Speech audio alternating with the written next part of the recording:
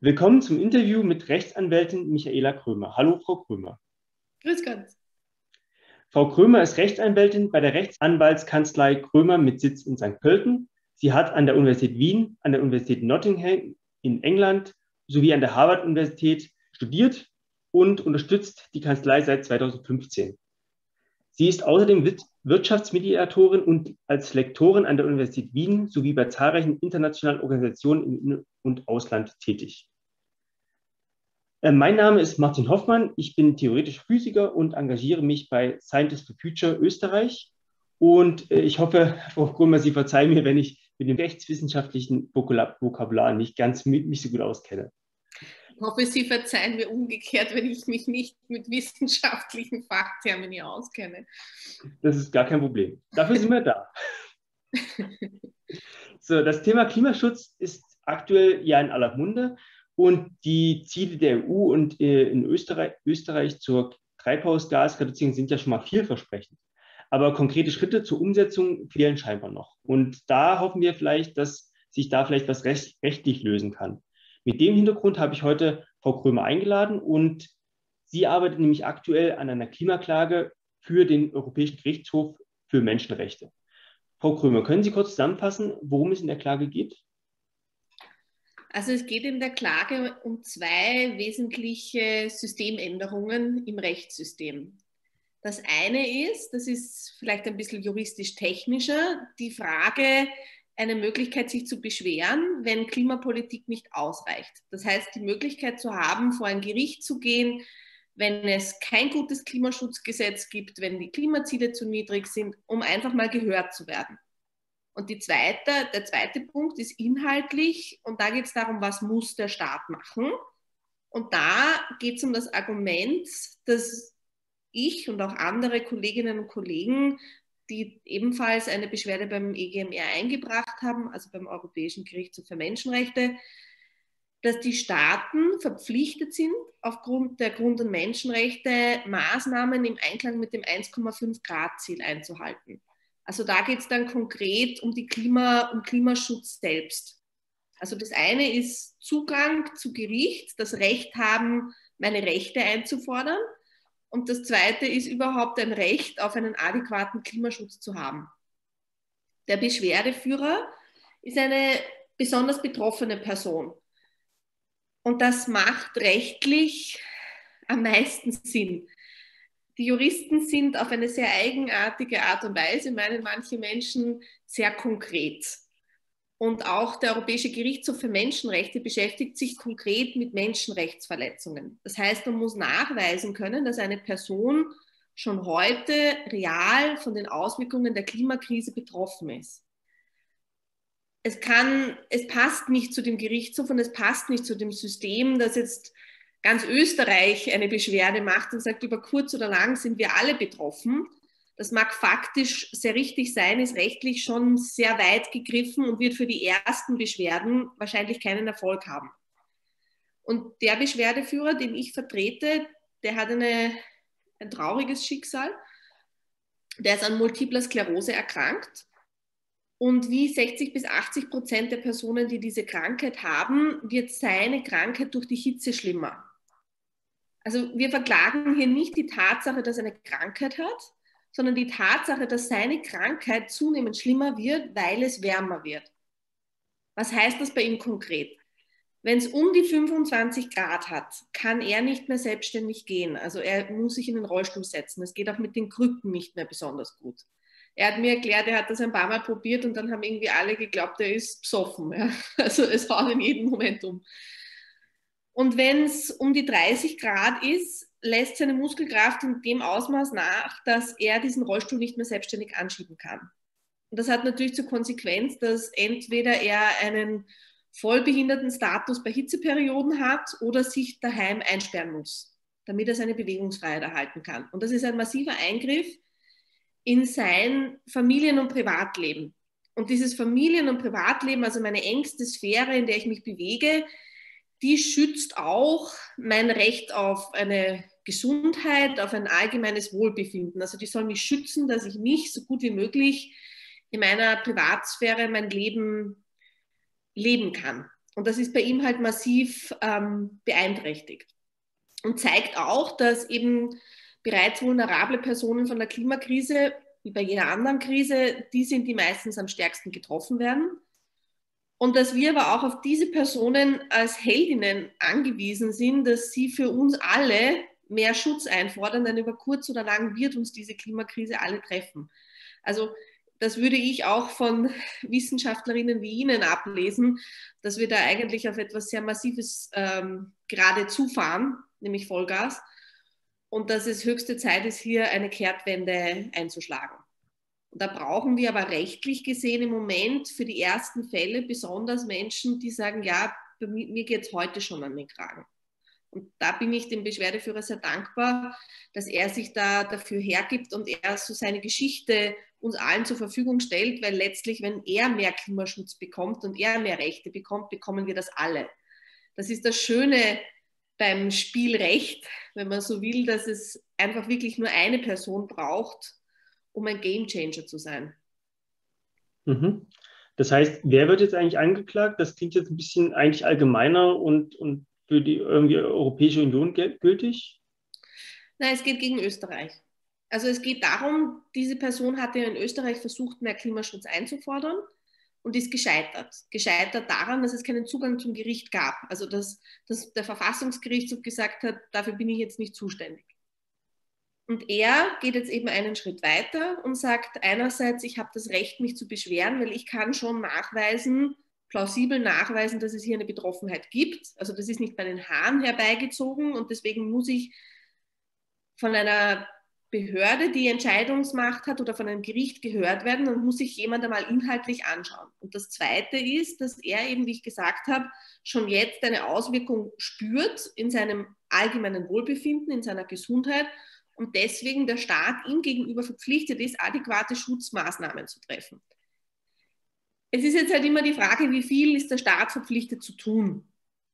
Das ist ja nur im Fall von Österreich eine wunder, wunderschön einfache Sache, weil wir de facto kaum irgendetwas machen. Das heißt, wir haben jetzt nicht die komplexe Situation, dass wir uns überlegen müssen, ist die Schülerin jetzt bei 1 minus oder 2 plus, sondern ich würde Ihnen eher, wie soll ich sagen, ein glatter Fetzen, wenn man das jetzt so sagen möchte.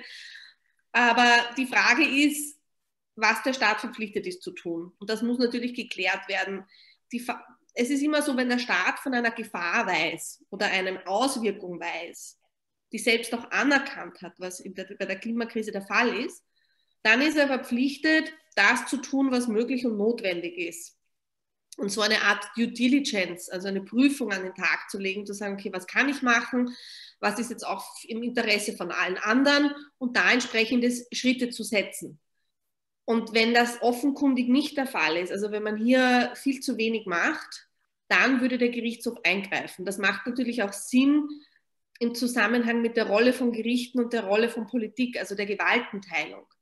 Gerichte schreiten ja nur dann ein, wenn wirklich Rechte verletzt sind. Sie können ja den Staaten und der Politik nicht diktieren, was im Einzelnen zu tun ist. Aber hier geht es eben um diese Grenzen. Und die Grenze, die wir hier haben, ist das 1,5 Grad Ziel. Und da gibt es eben sehr viel Wissenschaft und auf die bin ich angewiesen, die sagen, also im Moment ist diese Klimapolitik nicht im Einklang mit dem 1,5 Grad Ziel und das dürfte, ich hoffe, das ist ein richtiges Verständnis, offenkundig so sein. Also wissenschaftlich unumstritten, dass wir hier nicht bei einem 1,5 Grad Ziel sind. Es wäre für mich natürlich rechtlich viel schwieriger, wenn das wissenschaftlich umstritten ist. Weil dann kann der Staat natürlich auch sagen, die Wissenschaft, die Expertinnen sind sich hier nicht einig ob ich eh genug mache oder nicht. Aber das ist nicht die Situation, die wir in Österreich haben und das ist auch nicht die Situation leider in vielen anderen Ländern. Mhm. Das heißt, jetzt, äh, die wissenschaftlichen Fakten, also Sie haben ja ein bisschen mit Scientists for Future zusammengearbeitet, soweit ich das mitbekommen habe. Großartige Unterstützung. Also ohne Scientists for Future wäre das nicht so gut gegangen. Das möchte ich schon an dieser Stelle betonen. Also das war wirklich, wirklich wertvoller Input. Dankeschön, ja. Also äh, entsprechend wie gehen die Fakten dann in diese Klage mit ein? Muss man da dann das groß, wie, wie, wie kann ich mir das vorstellen? Muss man dann da irgendwie noch ein, ein Statement dazu schreiben, die Wissenschaftler sagen oder wie funktioniert das? Also wir haben es in dem Fall ganz, also versucht so detailliert wie möglich zu machen. dass es im rechtlichen Rahmen okay ist und auch noch wissenschaftlich solide. Was haben wir gemacht? Wir haben gesagt, es gibt genug Aufzeichnungen über warme und heiße Tage in den letzten 40 Jahren. Mein Beschwerdeführer, mein Mandant ist 40 Jahre alt. Also in seinem Lebenszeitraum gibt es sehr gute Aufzeichnungen, auch von seiner Region, also nicht nur in Österreich, sondern wirklich sehr konkret in seinem Umfeld. Er, ist, er lebt jetzt dort, wo er aufgewachsen ist. Das ist recht praktisch.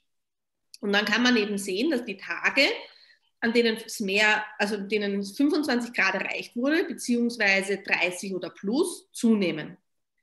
Das heißt, wenn wir wissen, dass diese zwei Benchmarks bei ihm entscheidend sind, kann man mal sagen, hier ist ein gewisser Einfluss da. Wir haben dann mit äh, Wissenschaftlerinnen einen Uthoff Impairment Factor entwickelt. Uthoff ist dieses Krankheitsphänomen, um eben darzulegen, dass das natürlich graduell ist. Das heißt, an Tagen, wo es 30 Grad hat, hat es natürlich auch mehr Stunden von 25 Grad. Das heißt, generell die Zeitdauer, wo irgendeine Beeinträchtigung vorhanden ist, nimmt zu. Und da haben wir wirklich einen kleinen Expert Report, wo man das also mit Grafiken verfolgen kann, wie das einfach an, zu, zunimmt. Und dann, und das ist bei jeder Klimaklage eigentlich der Fall, oder so gut wie jeder, wird dann schon nochmal ganz stark auf wissenschaftliche Berichte von der IPCC oder APCC oder wer auch immer ähm, nochmal verwiesen, die ja auch sehr genau darlegen, wie Dinge zunehmen, die auch darlegen, was passiert, wenn nicht gehandelt wird. Weil das ist natürlich das, was für die Juristinnen interessant ist. Macht es überhaupt noch einen Unterschied? Wenn wir jetzt bei einem Punkt sind, wo man sagen kann, es ist eh nichts mehr zum Holen, ist die Frage, ob der Staat noch rechtlich eine Verpflichtung hat, wenn es eh schon egal ist. Also das sind Fragen. Das heißt, man muss hier schon noch auflegen, dieses Was wäre wenn Szenario.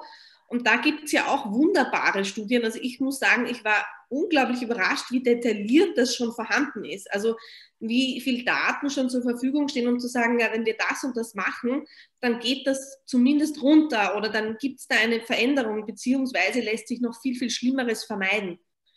Also man muss da schon sehr konkret sein. Also einfach nur zu sagen, ähm, das 1,5 Grad Ziel ist in einem Report von der IPCC als das Ziel anerkannt worden und fertig und irgendjemand sagt, ja, Österreich, das passt nicht, das wird nicht ausreichen. Das wird sehr genau geprüft.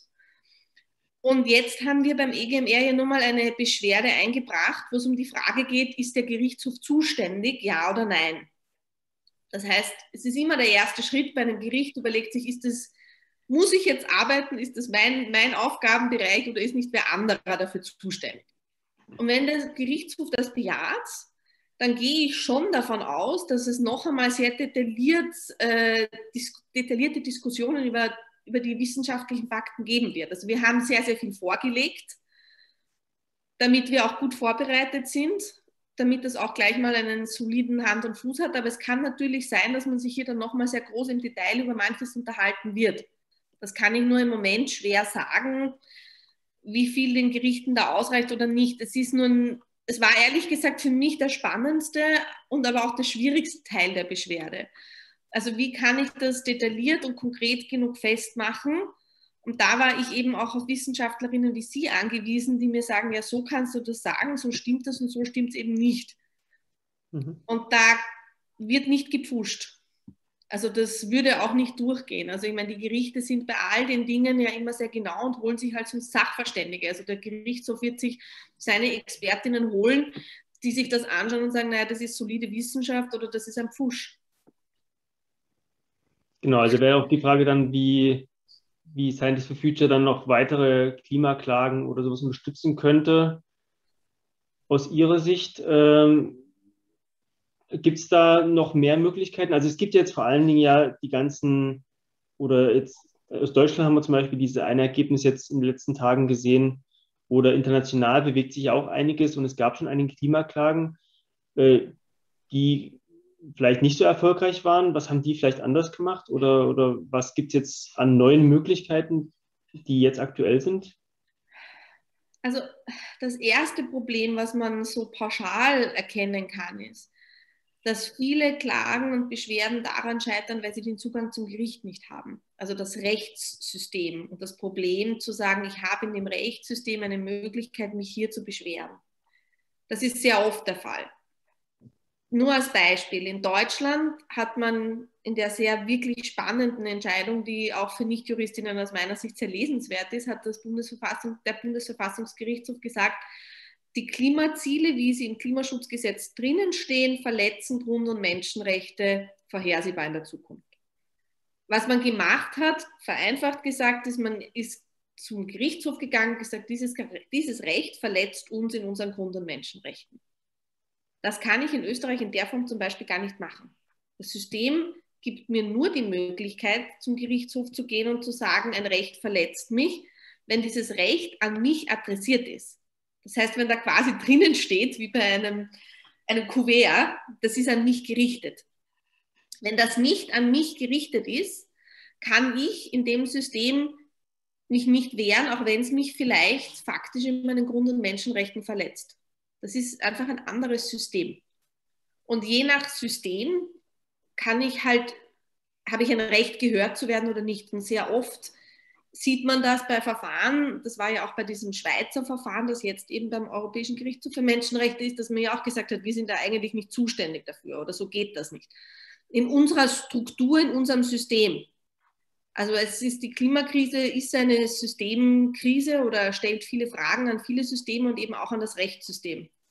Weil wir hier zum ersten Mal, das, ich würde sagen zum ersten Mal, ich bin keine Historikerin, das Phänomen haben, dass eine, ein, ein, globales Problem so konkret und real so viele Personen betrifft und dass es hier eine globale Verantwortung gibt. Und das ist natürlich rechtlich sehr schwer zu fassen in nationalen Systemen, die darauf ausgerichtet sind, nationale Probleme zu lösen. Und wie kann ich das einfangen? Und Systeme, die ein bisschen größer angelegt sind, wo man eben generelle Schutzpflichten hat oder wo man eben sagen kann, grundsätzlich, wenn ein, Gerecht, ein Gesetz Grundrechte verletzt, kann ich da schon mal zu, zum Gericht gehen, tue ich mir natürlich leichter.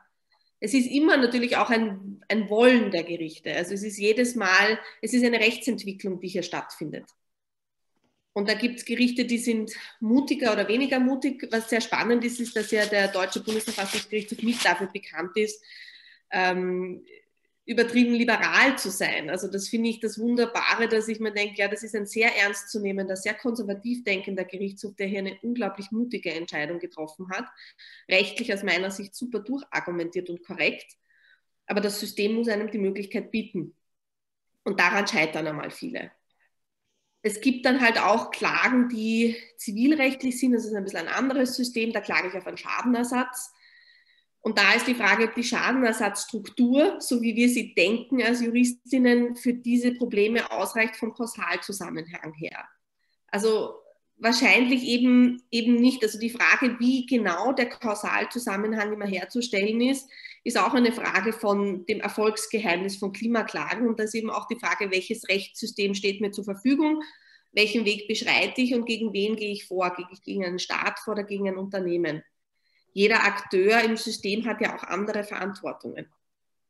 Also das sind sehr viele spannende Fragen und das ist, ich sage das deswegen dazu, weil das normalen Menschen logischerweise oft nicht bewusst ist, woran scheitert es jetzt. Mhm. Es scheitert nicht so oft an den inhaltlichen Fragen, sondern wirklich an diesen formalistischen Fragen, geht das mit dem System, dass der Gerichtshof sich das anschauen kann. Ich vermute aber, je mehr Gerichtshöfe progressiver agieren und auch Systeme ein bisschen dehnen, desto mehr wird diese Entwicklung auch auf andere überschwappen. Also es ist so, dass die deutsche Entscheidung jetzt nicht unmittelbar für Österreich heißt, wir haben da jetzt die Pflichten, nur natürlich indirekt wird das, ist da schon ein großer Druck da, wenn Deutschland sagt, okay, wir müssen uns dazu verpflichten und wir haben das 1,5 Grad Ziel einzuhalten. Und das wird sich halt auch auf die Judikatur von internationalen Gerichtshöfen überschwappen. Also der Europäische Gerichtshof für Menschenrechte orientiert sich bei der Rechtsentwicklung oder wann wie Pflichten auszulegen sind natürlich auch bis zu einem gewissen Grad daran, was machen europäische nationale Gerichte. Also das hat schon einen Dominoeffekt, aber nicht einen ganz direkten Ad-hoc, sondern halt im System und in dem Druck, der dadurch entsteht, einerseits auf die Politik und andererseits, weil das halt von Gerichtshöfen mehr und mehr aufgegriffen wird. Und was ändert sich jetzt in Österreich oder würde sich in Österreich ändern, wenn Ihre Klimaklage erfolgreich ist? Hoffentlich. Klassisch juristische, klassisch juristische Antwort, das kommt darauf an. also es kommt, es kommt leider wirklich einmal darauf an, wie entschieden wird, weil ich habe ja zwei Punkte, die mhm. ich nochmal gesagt habe. Also das Recht, mein Recht einzufordern und dann eben das Recht auf Klimaschutz. Wenn ich jetzt bei dem Punkt das Recht, mein Recht einzufordern gewinne, dann muss sich was im System ändern. Das heißt, wir brauchen mehr Beschwerdemöglichkeiten im Klimaschutzbereich. Und ganz konkret braucht das eben auch mein Mandant, weil noch einmal, das Ganze ist darauf ausgerichtet, dass das jetzt hinsichtlich einer Person geprüft wird, die dann mit ihrem Fall das System für alle verändern kann. Also das ist eine, eine Rechtsänderung. Ja, da muss, da muss Beschwerdemöglichkeiten müssen da geschaffen werden. Und das Zweite ist, dass wenn eben gesagt wird, okay, das sind Schutzpflichten, die bestehen und die sind verletzt worden, dann brauchen wir eine Klimapolitik, im Einklang mit diesen Schutzpflichten. Und dann ist die Frage, ob der Gerichtshof sagt, wie schauen diese Schutzpflichten aus? Heißt das einfach nur, ihr müsst mehr machen? Heißt das, ihr müsst bei 1,5 und oder gut unter 2 Grad? Oder müsst ihr wirklich das 1,5 Grad Ziel einhalten? Also das ist, ist ja dann irgendwie die Frage, wie konkret das festgelegt wird. Aber dann brauchen wir eben auch ein effektiv, wir brauchen über kurz oder lang ein besseres Klimaschutzgesetz. Also das wird dabei rauskommen. Es geht hier nicht um den Schadenersatz, es geht hier nicht darum, dass eine Person Geld will, sondern es geht darum, dass wir eine bessere Klima, Klimaschutzpolitik in Österreich bekommen. Mhm. Also es läuft auf eine Gesetzesänderung raus. Und was ich mir jetzt gerade frage, äh, weil wir äh, in, in Oberösterreich aktiv sind, auch auf, sagen wir mal, mit anderen Initiativen in der Klimaallianz Oberösterreich, wäre das dann auch maß oder bindend für, für die Länder oder, oder ist das dann, muss man da dann wieder eigentlich eine Klage einreichen oder also das wäre jetzt sozusagen auf Österreich-Ebene, auf Bundesebene, soweit ich das genau, verstanden habe. Auf Bundesebene. Und also auf die Republik, die ein föderaler Staat ist. Also insofern schon noch auf die Länder, ja. Dann, dann ist es wieder die Verantwortung, da muss man wieder schauen, welche, was die Länder für Verantwortung haben und wie die sich hier daran halten müssen. Also das ist so quasi, der, der Bund muss das dann runter, runter, runtergeben. Also man sieht natürlich, man kann in einem System von einer Gewaltenteilung mit juristischen Entscheidungen sehr viel bewirken, aber natürlich alles hat eine Grenze. Also das ist ein Werkzeug von vielen. Es muss natürlich dann umgesetzt werden, wenn die Politik das nicht umsetzt, ist es immer sehr schwierig. Ich meine, man hat hier einen sehr großen Druck auch international. Also das wird schon überprüft, ob diese Entscheidungen eingehalten werden oder nicht. Aber wenn sich ein Land natürlich permanent verweigert, ab einem gewissen Punkt wird es halt schwierig. Darum ist es halt auch so wichtig, dass man über diese Klagen spricht, dass die Zivilgesellschaft darüber informiert ist und weiß, da besteht eine rechtliche Pflicht, etwas zu tun. Wir erleben halt nur leider auch im Moment eine gewisse Demokratiekrise, wo ja zunehmend die Autorität von Gerichtshöfen in Frage gestellt wird. Und das ist ja auch ein gewisses Dilemma, das wir haben. Dennoch kann man nicht glauben, dass es jetzt hier die Wunderwaffe ist. Also das ist mir auch wichtig. Das ist ein sehr, sehr gutes Druckmittel, weil eben hier bindend etwas umzusetzen ist. Andererseits braucht es die Politik und es braucht die Zivilgesellschaft, um zu schauen, dass das auch wirklich passiert. Also das ist immer im Zusammenspiel. Weil ich kann es ja nicht äh, zwangsexekutieren in dem Fall. Also das ist ja nicht so wie bei anderen Gerichtsurteilen oder bei einem Strafrecht, wo ich sage, okay, den sperre ich ein und wenn er nicht kommt, na, dann hole ich man. Also so einfach funktioniert das da in dem System leider nicht. Mhm. Und äh, apropos Zivilgesellschaft, ähm, jetzt war da Fridays for Future mit involviert oder zumindest äh, hat entsprechend äh, die Klimaklage beworben. Wie ist das zustande gekommen? Oder ja? Also ich bin den Fridays auch sehr, sehr dankbar, weil ohne die Fridays wäre das äh, sehr schwierig gewesen. Jedes Verfahren muss natürlich finanziert werden. Also das ist ein Wahnsinnsaufwand und das geht leider nicht mehr pro bono ich meine, ich glaube grundsätzlich, dass diese Fragen ja auch immer die Frage aufwerfen, welche Arbeit ist wie viel wert und für welche Arbeit soll man eigentlich bezahlt werden oder nicht. Da haben wir auch ein Systemproblem. Faktum ist, so eine Beschwerde schreibe ich nicht in einer Woche und auch nicht in zwei Wochen, sondern das braucht wirklich Monate. Das ist viel Überlegung, viel Überarbeiten, damit das alles wirklich Hand und Fuß hat. Und das gehört finanziert. Und da bin ich den Fridays sehr dankbar, dass sie meine Crowdfunding-Kampagne gemacht haben und eben auch eine Öffentlichkeitsarbeit und wir sehr, sehr viele Unterstützerinnen und Unterstützer gefunden haben, die eben mit kleinen Beiträgen letztlich das ausreichend finanziert haben, dass alle Personen, die da beteiligt waren, einen gewissen Kostenersatz bekommen haben, damit sie es leisten könnten, diese Zeit dazu investieren. Also man, diese Verfahren, wie gesagt, haben immer auch das Thema der Finanzierung und wie ich auch gesagt habe, es ist eben zusätzlich sehr wichtig, dass die Bevölkerung Bescheid weiß, was da passiert. Äh, je mehr Wissen um einen Fall ist, umso weniger kann ich ihn wegschieben, wenn das Ergebnis für mich unangenehm ist. Allerdings, ja. Ja, ich denke, wir werden das, äh, Fridays und Scientists und alle anderen Initiativen werden das sicherlich sehr genau verfolgen und äh, hoffen, drücken die Daumen, dass da entsprechend äh, positive Entscheidungen getroffen werden. Jetzt wäre natürlich noch die Frage, ähm, wo die Zuschauerinnen und Zuschauer entsprechend äh, nachverfolgen können, wie die Klimaklage äh, weiter verläuft. Also wie ist die da der, Zeit, der Zeitrahmen aus? Also alle Informationen gibt es auf der Webseite von den Fridays for Future. Die haben eine eigene Webseite für die Klimaklage eingerichtet. Es gibt auch auf meiner Webseite mit meinem Namen immer wieder Updates. Es ist sehr schwer zu sagen bei den hohen Gerichten, wie der Zeitrahmen aussieht. Die sind dann an keine Fristen gebunden. Der erste Schritt, auf den wir jetzt warten, ist, wir haben wie die anderen beiden Verfahren, die anhängig sind, also es gibt insgesamt drei Klimaklagen jetzt, äh, Priority Status äh, verlangt, also dass das Verfahren vorrangig und schnell behandelt wird. Die anderen beiden haben das bekommen. Das ist die große Hoffnung, dass wir das auch bekommen. Da würden wir in den nächsten, ich würde sagen, zwei bis drei Monaten eine Rückmeldung bekommen. Das heißt, man schaut sich das dann schneller an, damit das Verfahren auch schneller abgewickelt werden kann. Und dann ist es eben die Frage, wie der Gerichtshof mit diesen drei Verfahren grundsätzlich vorgeht, ob er die getrennt behandelt, ob er die indirekt zu dritt behandelt, ob die offiziell zu dritt behandelt. Also es geht ja hier um die ersten großen Entscheidungen. Also das ist juristisch schon komplettes Neuland und auch sehr bahnbrechend, was hier entschieden wird.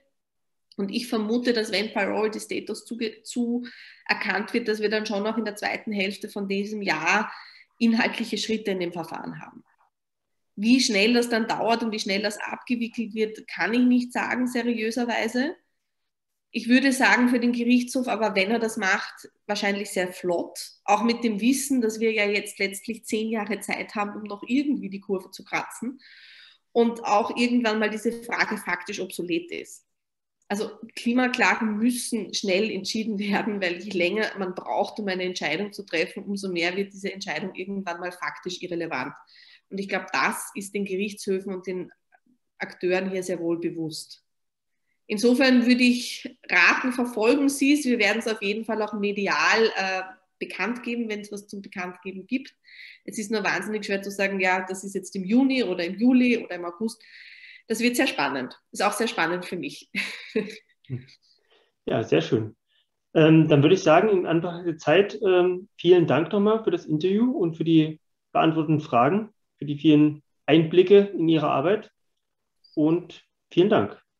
Danke für die Fragen, danke für das Interesse und die Aufmerksamkeit und danke nochmal für die Unterstützung der Scientists für diese Beschwerde.